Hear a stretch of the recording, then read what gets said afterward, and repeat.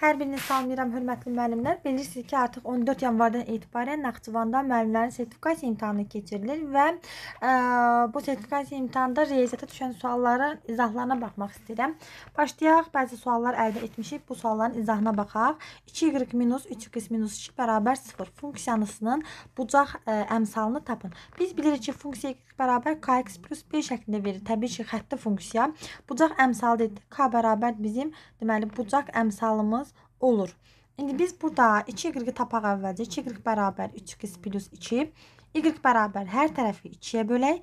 1 onda 5x plus 1. Deməli k-mız, yəni x-in əmsalı, bucaq əmsalımız bərabər olacaqdır. 1 tam onda 5. Daha sonra ikinci suala baxaq. Sual 2.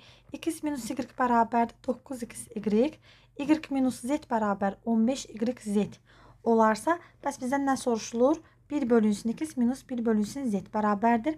Ə, bax bu həlli soruşulur. Burada x yazılmışdı səhv etmirəmsə. Ə, o zənnimcə o ə, doğru deyildir, yəni səhvdir. Bunu nə edək? x bölək, ə, gəlin bunu belə deyək. 2 minus y minus 9x var ha. Gəlin bunun hər tərəfini e, x y bölək. x bölünsün x y minus y bölünsün x y bərabərdir 9 böldük. Daha sonra e, YZ e, Y minus Z isə hər tərəfini YZ-ə bölək. Y bölünsün YZ minus e, Z bölünsün Z bölünsün. Nə qalır burada? Y Z bərabərdir 15. Sadələşdirək. Sadələşdirənə görə nə alınacaqdır? X-lər, Y-lər getdi. 1 bölünsün Y minus 1 bölünsün X bərabər 9. 1 bölünsün Z minus 1, 1 bölünsün Y bərabərdir 15 almış olduq. İndi baxaq. 1 bölək müsbət mənfi 1 bölək X-lər var. Gəlin bunları tərəf-tərəfə toplayaq. Tərəf-tərəfə toplasaq, burada nə qalır? 1 bölünsün z. Üstə gələk. Mənfi 1 bölək 2 bərabər 15-in üstə 9 gəlsək, deməli, 15-in 24. 24. Buradan da alırıq ki, 1 bölünsün z minus 1 bölünsün 2 bərabərdir müsbət 24. Bizdən tələb olunan cavab amma 1 bölü x olduğuna görə, baxın biz 1 bölü z minus 1 bölü x almışıq. Amma bizdən soruşur 1 bölü x minus 1 bölünsün z-i soruşur. Bərabər yazacağıq mənfi 24. Bir də bizim doğru cavabımız olacaqdır. Daha sonra növbəti sual. Yan səthin sahəsi 70 pi verilibdir. Deməli, r bərabərdir 6, s tam səthin sahəsi soruşulur. Konus Bəli, konusu, söhbət konusdan gedir. Konus yazaq ki, bilinsin. Konusun yan səthin sahəsi S-yan bərabər bilir ki, pi r L düsturla hesablanır. Bərabərdir 70 pi-dir. Düzdürmü? Belə. Daha sonra bizə R, R, R məlum. Yox, etiraz deyil. Etiraz deyil. R məlum. S tam səthin sahəsi S tam bərabərdir. S yan plus S oturacaq. S oturacağı tapa bilərik. Çünki S oturacağı konusu, konusudur. Baxın, konusun oturacağı bir çevrə olduğuna görə və bu çevrənin radiusu mərkəzi 6 olduğuna görə S tutacaq bərabər pi r kvadratıdır. Deməli pi r kvadrat o da bərabər 36 pi edir. Bərabər. İndi hesablayaq. 7 70 pi plus 36 pi bərabərdir. 106 pi bizim doğru cavabımızdır. Dördüncü sual. İndi bizdən dördüncü sualda deyəcək ən böyüyünü tapın. Baxın necə asan. 0 tam %92, 0 tam 1000-də 921, 0 tam 1000-də 916, 0 tam 1000-də 10 10.000-də 9026 və 0 tam 1000-də 876. Bunları müqayisə etmək üçün təbii ki, baxmalıyıq bunların tamına. Tamına baxırıq. 0 0 0 0 0 hər biri eynidir. Tamlar eynidirsə biz növbəti addımda artıq bunların onda birlərinə baxmalıyıq. Baxaq. Yenə 9, 9, 9, 9. Aha. Bu da 8 olduğuna görə ola bilməz. Bu daha kiçikdir. Onda birləri bərabər olan ədədlər var. İndi biz bunların yüzdə birlərinə baxacağıq. 2, 2, 1. Baxın 1 var. Və sonra bir 0 var. Deməli, bu 1 ilə 0 daha kiçik olduğuna görə ola bilməz. Qaldı 0 tam %92, 0 tam 1921. 0 tam %92 baxın, 0 tam 1920 deməkdir. Bu isə 0 tam 1921. 920 və 921-i müqayisə etdikdə təbii ki 0,921 daha böyük ədəddir. 5-ci sual. Uyğun tərəfləri uyğun tərəfləri paralel olan bucaqların cəmi, baxın, bucaqların cəmi bərabərdir 300 dərəcədir. Bu bucaqların qonşu bucaqlarını soruşur. İndi baxaq. Tutaq ki, uyğun tərəfləri paralel olan bucaqlardırsa, onda biz eyni bucaqlardır da. Bunlar alfa plus alfa bərabərdir 300, 2 alfa bərabərdir 300, alfa bərabərdir 150 dərəcə. Onda bu bucağa, bucağa qonşu olan bucağı tapmaq üçün 180 dərəcədən 150 dərəcəni çıxarıq, bərabərdir 30 dərəcə. Biz bilirik ki, uyğun tərəfləri bu paralel olan bucaqlar ya bir-birinə bərabərdir, ya da onların cəmi 180 dərəcəyə bərabərdir. Cəm 180 dərəcədən böyük olduğuna görə, deməli bu bucaqlar eyni adlı bucaqlardır. Eyni adlı, müxtəlif adlı olsaydılar, cəmləri 180 dərəcəyə bərabərdir. Məsələn, baxın. Belə.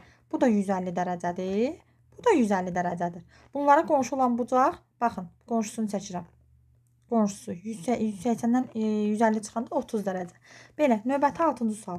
Uyğun tərəflər paralel bucaqların fərqi, məsələn, alfa e, minus beta bərabərdir, deyir 60 dərəcədir. Böyük bucağı tapın. Deməli, bunlar əgər e, eyni adlı bucaqlar olsaydılar, bərabər olardılar və müxtəlif adlıdırlar. Müxtəlif adlı bucaqların cəmi isə 180 dərəcəyə bərabərdir. Tərəf-tərəfə toplayaq. 2 alfa bərabərdir 240, alfa bərabər 120 dərəcə.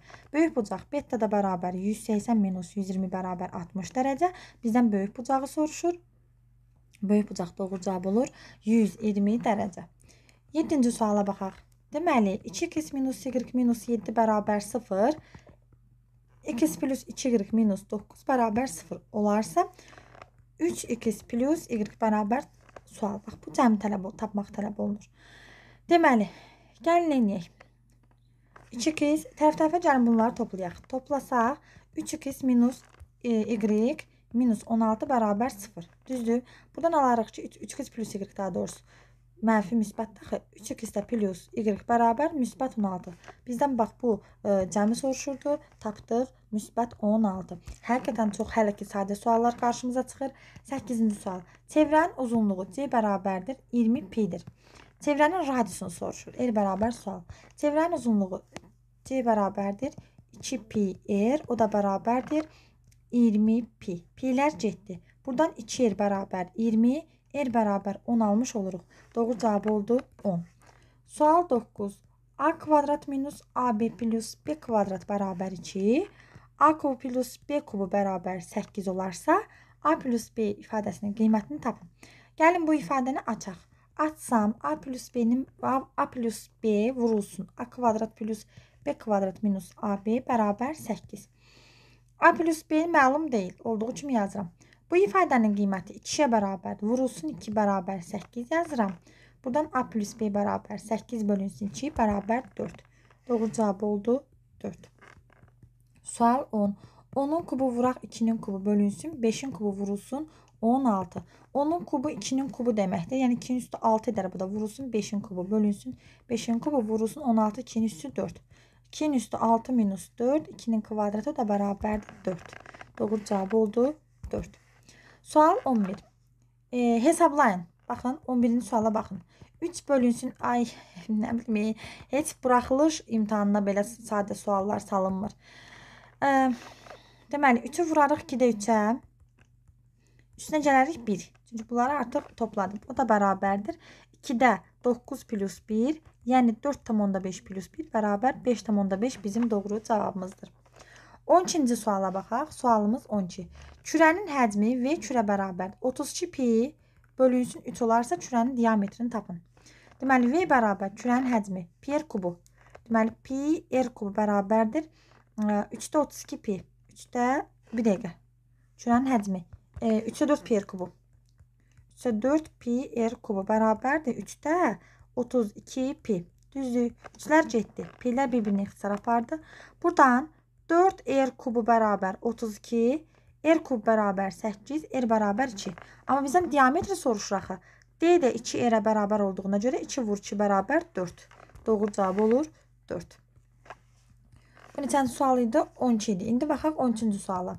X kvadrat minus 8x plus 6 bərabər 0 tənliyin kökləri tangens alfa və tangens beta olarsa, nə soruşur? Tangens alfa plus beta-nı tapın. Tənliyin kökləri cəmi tangens alfa, tangens beta müsbət 8-ə bərabərdir. Topluda olan suallardır.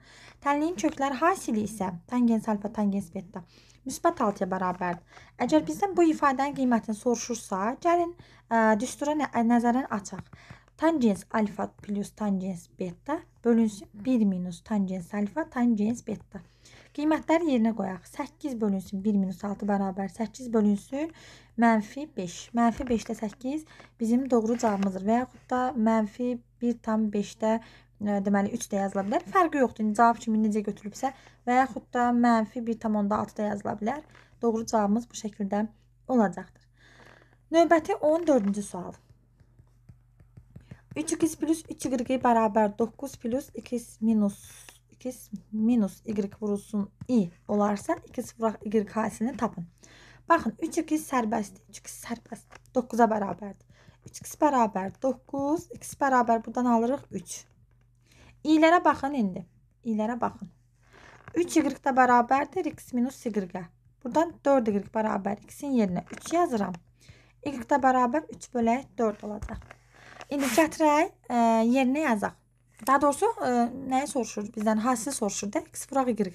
3 vurulsun 4-də 3 bərabər 4-də 9 bizim doğru cavabımızdır. 15-ci sual. Ox kəsiyinin sahəsi S ox bərabər 8 kök altında 2 olan kvadrat silindrin ə, kvadrat silindrin ox kəsiyidir. Ə, tam səthin sahəsini soruşur. S tam bərabər sual.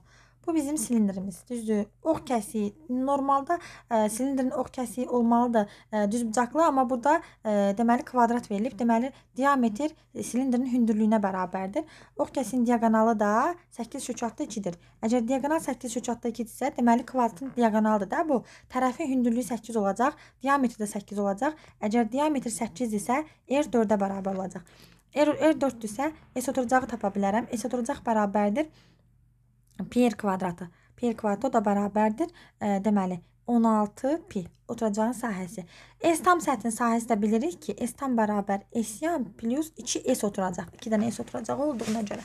S yan səthin sahəsi, baxın, bura 2 R-dir, düzdür? Bura 2 R-dir, bura H-dır. S oxçəsinin sahəsi 2 R H düsturla hesablanırsa, əgər biz bunun yan səthini tapırıqsa, bunun yanına bir dənə pi əlavə edirik. Yanında tapaq 2 vurulsun, 4 vurulsun, H-ımız 8 vurulsun pi bərabərdir. 32 64 pi eləyəcəkdir. Onda indi S tamı tapaq. S tam bərabər S-yan plus 2S oturacaq. 64 pi üstə gələk. 64 pi plus 32 pi. 2 vurulsun 16 pi 32 pi ilə 64-ün üstünə 32 gələndə 96 pi bizim doğru cavabımızdır. Bu oxçəsinin sahəsi deyil, oxçəsinin diaqonalının. Diagonal D bərabər 8 üçətdəki 100 sayını səhv götürmüşəm. Daha sonra 16-cı suala baxaq. A minus B bərabər 12 olarsa, A minus B plus A minus B vurulsun 4-də 1 ifadəsinin qiymətini tapın. Çox rahat. 12 plus 12 vuraq 4-də 1. 12 üstə gələk 3 bərabər 15. Doğru cavab olur 15. 17-ci suala baxaq. Ədədi silsilədə A7 plus A15 bərabər 10. A6 bərabər 8 olarsa D-ni tapın. A15 plus A17-ni 6 ilə əvəz edək. A6 D, A6 plus D üstə gələk. A15-i yazıram ki, A6 plus 11D. Daha doğrusu 9D. 9, 9D bərabərdir 10. 2 vurulsun A6 plus 10D bərabərdir 10. 2 vurulsun 8 plus 10D bərabərdir 10.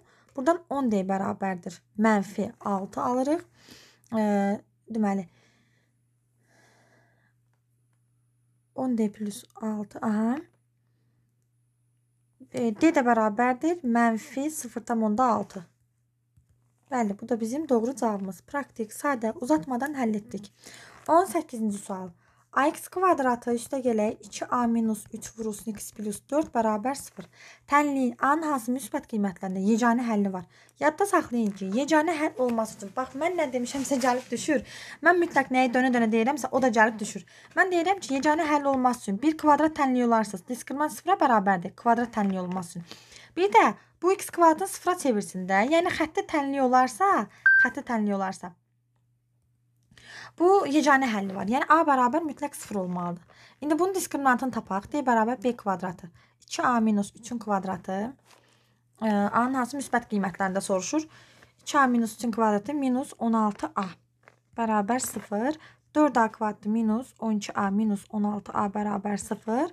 Buradan 4A kvadratı minus 28A bərabər 0. 4A'nı mörtəzə xaricinə çıxarsam A minus 7 bərabər 0. Buradan zaten A bərabər 0. A bərabərdir 7 almış oluruq. Biri olur 0, biri olur 7. Bir dəqiqə, üzülürsən. Burada 9 yazmağı unutmuşam. Plus 9 var axı burada.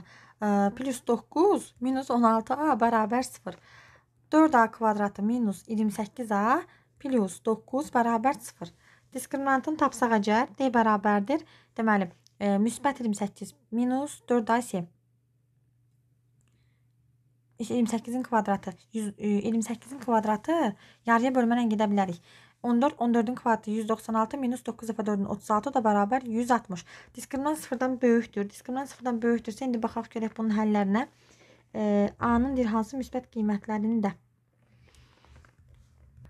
Burada ola bilsin misal ə, e, düzgün köçürülməyibdir. Çünki niyə diskriminantdan hər hansı bir ədəd çıxmır. Buradan ə, A1-i e, tapsaq, yəni kökü tapsaq, A1 bərabərdir müsbət 14 min, plus minus ə, e, kökün altında 160 və bölünsün 4 olacaqdır.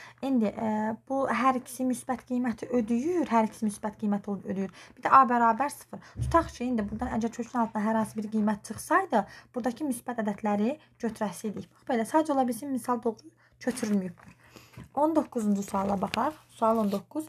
Ə, sual 19-cu sual artıq binomdandır və deyir ki, x minus 2 qırğın üstü 5. Binomun binomial əmsallar cəmi binomial əmsallar cəmi. Binomial əmsallar cəmi de soruşanda binomial əmsallar cəmi 2 üstü n ilə işarə olunur. n bərabərdir burada 5-dir. 2-nin üstü 5 bərabərdir 32. Əgər binomun əmsallar cəmi soruşsaydı, x və y-ə 1 verib hesablamalı idik. Əgər binomun özünün əmsallar cəmi, amma bizdə binomial, binomial varsa 2 üstü n-i unutmayın. 20-ci sual. b kvadrat plus c kvadratı deməli bərabər a kvadrat minus bc olarsa, yəni bu deyir, ABC də təbii ki deyir, e, üç bucağın tərəfləridir burada. Bu üç bucağın ə, e, ən böyük bucağı neçə dərəcə olar? Tutaq ki, üç bucağımızı çəkək. Çəkək. A olsun, B olsun, C olsun. Ə, e, buradan A kvadratını tapsam, A kvadrat bərabər B kvadrat plus C kvadrat plus B, C olmalıdır, düzdür? Bu da olsun, tutaq ki, alfa. Belə. Normalda biz ə, e, əgər A kvadratı A tərəfi üçün kosinuslar teoremini tətbiq etsək, belə yazmalı idik. Plus C kvadrat minus 2 vurulsun B vuraq C vurulsun kosinus alfa. Baxın, bunların hər biri bərabərdir. Deməli, BC bərabər olmalıdır. Mənfi 2 BC vurulsun kosinus alfaya. BC-lər getdi. Kosinus alfa bərabər mənfi 2-də 1, alfa da bərabər 120 dərəcə. Alfa 120 dərəcədir. Bizə nə soruşur? Ən böyük bucağı soruşur. Alfa ən böyük bucaqdır. Ən böyük tərəf qarşısında durubdur və deməli kör bucaqdır. Deməli alfa bərabər 120 dərəcə. Sadəcə və sadəcə kosinusları tətbiq etmək lazımdır. 21-ci sual. 7x minus 4 bölünsün 2x plus 1. X-in hansı qiymətində mənası yoxdur. Təbii ki, məxrəc sıfırdan fərqli olmalıdır ki, mənası olmalı. Ə, yəni məxrəc sıfıra bərabər olarsa mənası olmaz. 2x bərabər mənfi 1, x bərabər mənfi 0.5 qiymətində mənası yoxdur. 22-ci sual. 88 vurulsun 5 üstü 2. Natural bölənlərin sayı bərabər, yəni 32 olarsa x-i tapın. 88 8 vuraq 11-dir, vuraq 5-in üstü 8. Natural bölənlərini tapdıqda qüvvətləri 1 vahid. Artırıb bir-birinə vurmaq lazımdır. 32-yə bərabərdir. 8 edər 8 4 dəfə 2 8 vurulsun x plus 1 bərabər 32. x plus 1 bərabər 4, x bərabərdir 3 bizim doğru cavabımızdır.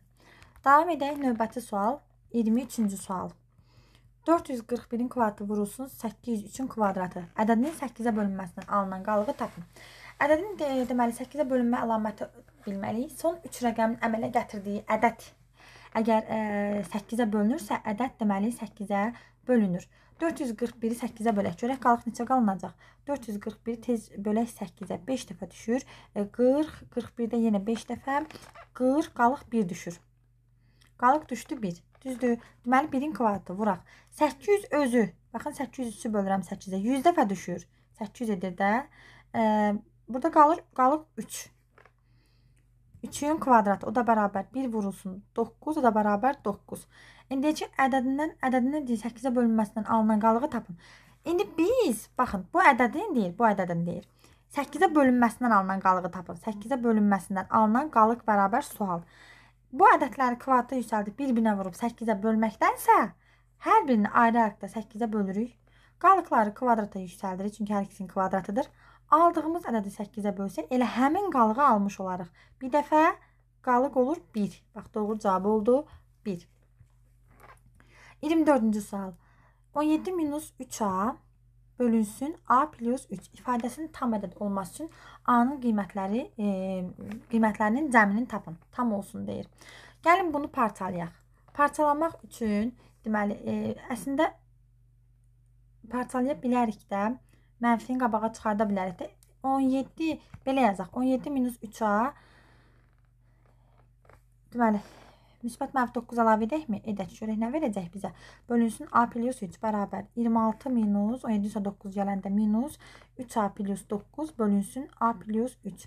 O da bərabər. Buradan 26 bölünsün A plus 3 minus 3A e, plus 9. 3-ü mötəzə xarinə çıxardanda A plus 3-lər gedir. Minus 3 qaldı. Minus 3 qalır sadəcə olaraq.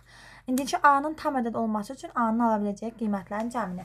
Təbii ki, 26 A plus 3 26-nın bölənlərini almalıdır. 26-nın bölənləri 1, müsbət mənfi 1, müsbət mənfi 2, müsbət mənfi deməli 26 nəyə bölünür? 13-ə bölünür. E, müsbət mənfi bir də 26-ya bölünür bu şəkildə. Və mütləq A fərqli olmalıdır mənfi 3-dən. Yəni daha doğrusu e, məxrəc e, yəni sıfır qiyməti ala bilməsin deyə. İndi gəlin baxaq, yerinə qoyaq. A plus 3 bərabər olsa əgər müsbət 1-ə A bərabər mənfi 2. A plus 3 bərabər olsa, mənfi 1-ə A bərabər mənfi 4. Bəli, ikisi də ödəyir. 1, 2. Tapdıq. İndi baxaq. Ə, A plus 3 bərabər olsun müsbət 2-yə, A bərabər mənfi 1. Bəli, ödəyir. A plus 3 bərabərdir. Mənfi 2-yə bərabər olsun, A bərabər mənfi 5. Bəli, ödəyir. A plus 3 bərabərdir mənfi 13. A bərabərdir mənfi 16. Bu da ödəyər. A plus 3 bərabər müsbət 13. A bərabər müsbət 10 ödədi. A plus 3-ü bir dəfə 26-ya bərabər edir. A bərabər 23 ödəyir. A plus 3 bərabər mənfi 26, A bərabər mənfi 29 ödəyəcəkdir. İndi burada ola bilsin qiymətlərin sayını soruşsa, baxın sayını soruşsa 1, 2, 3, 4, 5, 6, 7, 8 dənə. 8 dənə. Qiymətlərin cəmini soruşsa mənfi 2, mənfi 1, mənfi 3, mənfi 4 deməli, e, mənfi 5, mənfi 4, mənfi 5 edər. Aha, mənfi 9 minus 6 minus 6. Yəni bunu cəmləmək lazımdır bu şəkildə. Növbəti sual. Bu neçən sual 24. İndi 25-ə baxaq. 25. Modul x kvadratı plus 3x minus 4 bərabər 4 minus 3x minus x kvadrat. Tənliyin köklərinin sayını tapın. Diqqətlə baxsaq, modulun içindəki ədədlərin işarələrini mənfiyə vurub, yəni əks işarələ moduldan çıxarıb. Bu nə deməkdir? Bu deməkdir ki, moduldakı e, modulun içindəki ədəd mənfi ədəddir. Yəni x kvadratı plus 3x minus 4 sıfırdan kiçik bərabər ədəddir. Vurğularını ayırsaq, x plus 4, x minus 1 kiçik bərabərdir sıfırdan. Sıfırları mənfi 4, müsbət 1 olacaqdır. Sıfır qiymətini qoyanda mənfi müsbət, müsbət bizə lazımdır. Mənfi aralıq olacaqdır. Mənfi 4, müsbət 1. İkisinin e, nə deyir? Tənliyin köklərinin sayını tapın. Bu tənliyin köklərinin sayı bu aralıqda. Mənfi 4, mənfi 3, mənfi 2, mənfi 1, 0, 1, 2, 4, 6 dənə. Doğru cavab 6 və yaxud da 1-dən çıxaran mənfi 4 üstünə 1 gələrək 5, 5-in üstünə 1, 6. Doğru cavab oldu 6. Hər biri də ödəyir. Baxaq növbəti indi e, deməli Növbəti suala. 26-cı sual. Sual 26. Y bərabər 4 minus sinus 3x minus ş funksiyasının qiymətlər çoxluğuna daxil olan tam ədədlərin cəmini y. Qiymətlər çoxluğu dedikdə sinus içində neçə olur olsun, fərqi yoxdur. Mənfi 1, müsbət 1 aralığında qiymət alır. Bir dəfə y bərabər müsbət 1 verək bərabər 3, bir dəfə mənfi 1 verək minus mənfi 1 bərabərdir 5 edər. Deməli, qiymətlər çoxluğu oldu 3, 5. Düzdür? Bu aralığa daxil olan, indi e, bu aralığa daxil olan tam ədədlərin cəmini soruşur. 3 üstə gələk 4 plus 5 bərabər deməli 8. 8-in üstünə deməli 5 8 üstünə 4 cəndə 12. Doğru cavab olur 12. Sual 27 f x bərabərdir. x kubu minus 2x plus 4 olarsa f3-ü hesablayın. Deməli, f3 bərabərdir. 3-ün kubu 27 minus 6 plus 4 qiyməti yerinə qoyuruq sadəcə olaraq. 31, 31-dən 6 çıxanda 25. Doğru cavab oldu 25. Sual 28. fx bərabərdir 2x kvadratı minus 14x plus 5 funksiyasında x 0 bərabər 3 nöqtəsində çəkilən toxunan tənliyi yazın. Toxunan tənliyi y bərabərdir y 0 plus y törəmə x minus x 0 düsturu ilə tapılır. Gəlin əvvəlcə 3 qiymətini qoyaq, hesablayaq y 0-ın özündə. y 0 bərabərdir, yəni y 3 qiymətini qoyuram da 2 vurulsun 9 minus 14-ü 3-ə vuranda 42 plus 5. O da bərabərdir 18. 18-dən 42 çıxanda mənfi 24. Üstünə 5 gələndə mənfi 19 almış olarıq.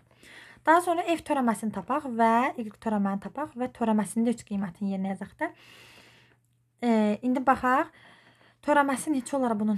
4x minus 14 bərabər 4 vurulsun 3 minus 14 bərabər mənfi 2. Toxunan tənliyi yazaq. İndi bax burada olacaq x0 mənfi 19. Plusda mənfi olduğuna görə minus. 2 vurulsun x minus 3. İndi baxaq. E, buradan o da bərabər sadələşdirirəm bunu. Bunu sadələşdirsəm, mənfi 19 minus 2x plus 6. O da bərabər. Mənfi 19-dan 6 çıxanda mənfi, mənfi 2x 2 mütləq qabaqda yazılmalı. Mənfi 2x minus 13. Doğru cavab qaldı. Bizim toxunanımızın tənliyi mənfi 2x minus 13. Belə mütləq 2x qabaqda yazılmalıdır. Yadda saxlayın. Deməli 29-cu sual. 29. Əbob verilibdir. Əbob n kvadratı üstə gələk 5k. Bir də n kvadratı plus 7k bərabərdir. E, deməli 2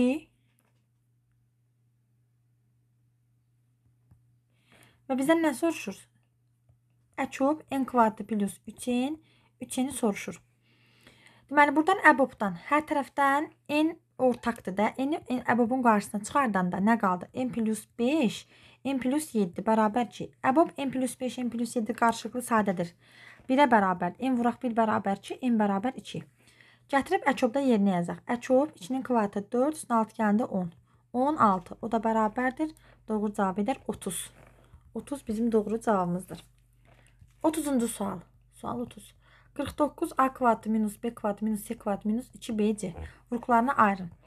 49 a kvadratı olduğu için qalsın. 2 bu da bizə 7 a'nın kvadratını verir. Minus b kvadratı plus 2bc plus c kvadratı. O da bərabərdir. İndi baxaq. 7 a kvadratı düzdür. Minus a kvadrat burada. Minus bu ifadə bizə b plus c'nin mötəzə kvadratını verir. 7a minus b minus c 7a plus b plus C. Vurğularına ayırın. Bu şəkildə ayırmış olduq. 31-ci sual. Satıcı aldığı malın 20%-ni 40% zərərlə, qalanın 30%-ni qazancla satdı. Nəticədə qazancı və ya xərci cəmi neçə faiz oldu? Qalanın 30%-ni qazancla, neçə neçə faiz qazancla satdığını bunu da yazmalı idi. Ona görə burada bunu e, neçə faiz qazanc olduğunu yazmaq lazım idi ki, bəs biz bilək, amma gəlin yenə də bu məsələni həll edək. Baxın, tutaq ki, 20 faizini 40 faiz zərərlə, qalanın 30 faizi. Mal 100 olsun. Əlində 100 dənə mal var. Bunun 20-sini 40 faiz zərərlə satır.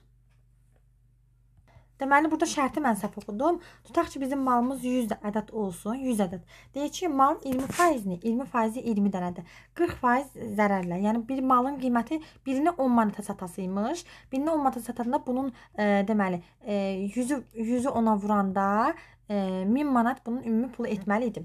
Sadəcə 20 faizini, 20 dənəsini 40 faiz zərərlə. 20 dənəsini yəni 10 manatdan yox 6, 6 manatdan satdım. 20-ni vurdu 6-ya bərabər 120 manat bu etdi.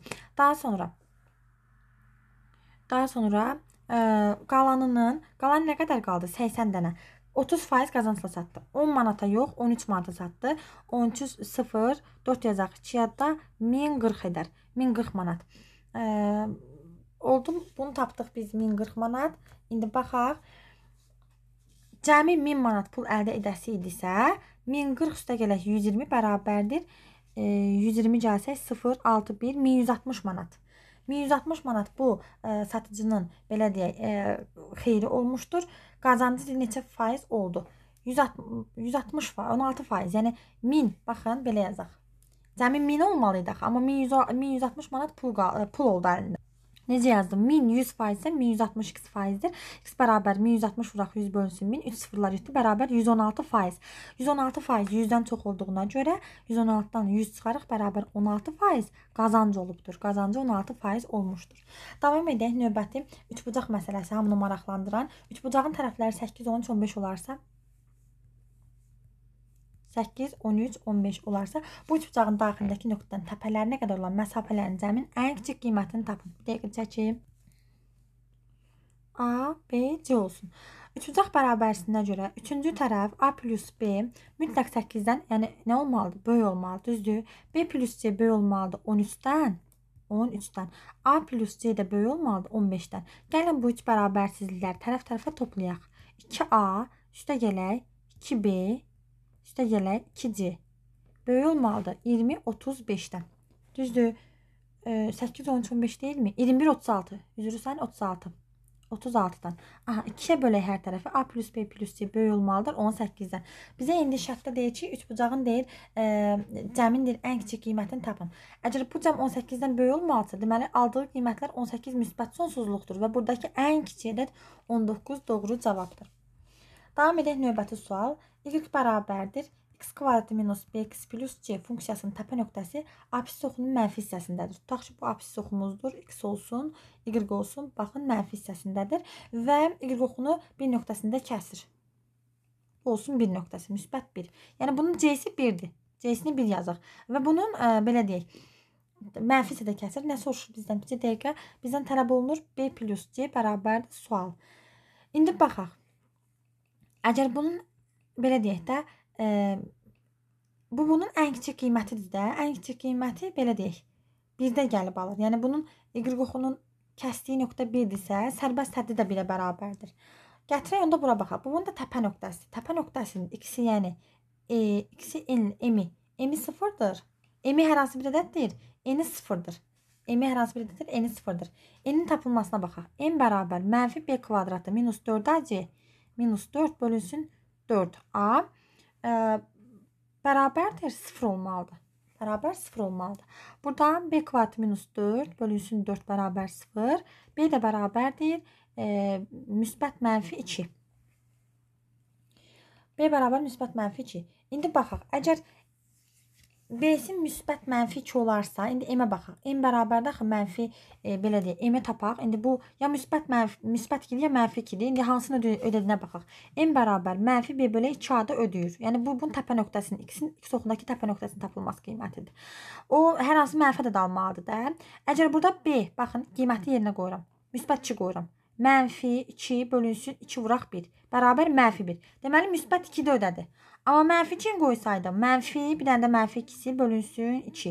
Bərabər müsbət 1 olardı, təpə nöqtəsi burada olardı, olmaz. Ödəmədi. Deməli B 2-dir. B-si 2-dir. C-si də B bərabər 2 aldıq, C-si də 1-dir. Düzdür? Bir dəqiqə. Davam edək. Bunların C-sini tapmışdıq zaten 1. 2 plus 1 bərabərdir 3. Doğru cavabdır. Və 34-cü suala baxaq. Sual 34. 2x plus y bərabər 9. x plus y bərabərdir 5. Düz xətləri apsisi 3 olan nöqtə kəsişirsə, yəni bunun x-i 3-dür. Olan kəsişirsə A bərabər sual. X-in yerinə tez 3 yazıram. 3 plus y bərabərdir 5. Deməli y bərabər 2-dir. Gətirib burada yerinə qoyuram. 2 vuraq 3. Üstə gələk A vurulsun 2 bərabər 9. 2A bərabərdir 3. Buradan A da bərabərdir. 1,5 almış olduq. Davam edək növbəti e, həndəsə məsələsi yenə 35-ci sual. Kvadratın xaricinə çəkilmiş, yəni e, çevrənin daxilində hər hansı bir kvadrat var. Radiusu 8 olarsa, yəni çəkilmiş çevrənin radiusu 8 olarsa, ştrixlənmiş e, hissənin sahəsini tapın. Ştrixləyək. Bir bu hissə ştrixlənib. Baxın, bir də bu hissə ştrixlənib. Əgər bu çevrənin radiusu 8 isə, deməli çevrənin e, diametri, eləcə də kvadratın diaqonalı bərabər olacaqdır. E, 8 vurulsun 2 bərabər 16-ya. 2-yə vurduq. Əgər 16-dırsa, 16-dırsa, onda bunun tərəfi olacaq 8 3 altda 2. Bu da olacaq 8 3 altda 2. Düzdür? Və nə deyir? İştiqlənmiş hissənin sahəsini tapın. İştiqlənmiş hissə biri düzbucaqlı üçbucaq alınır. Sahəsini tapa bilərik. S bərabərdir bircə dəqiqə 8 şöçatda 2-ni vururam. 8 şöçatda 2-yə bölürəm 2-yə. O da bərabər. 2-lər getdi 64. 64 bir hissə tapdıq. Düzdür? İndi bu bu sahəyə baxaq. E, radiusu əgər bunu 8 isə, deməli bura oldu 8. Tərəfi də 8 şöçatda 2-dir. Bu şəkildə bu da 8-dir. 8 8 8 şöçatda 2. E, 8 şöçatda 2-nin kvadratı və yaxud da belə yaza bilərik də. E, belə getməyək. Çünki burada əlavə hündürlük tapmaq lazım olacaq. Diametr 8-də elə deyilmi? Bunu əgər belə birləşdirsək, yəni diaqonalı çəksək tamamilə kvadratın diaqonalını, burada 4 dənə bərabər üçbucaqdır.